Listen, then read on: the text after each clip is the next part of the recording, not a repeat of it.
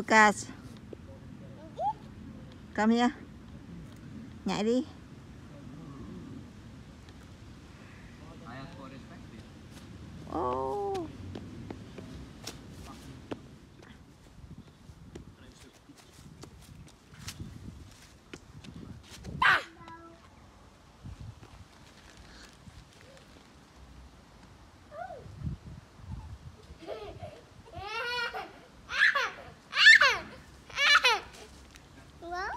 Kìa cái kìa sẽ đưa đuôi nó đi rồi đi về Nee.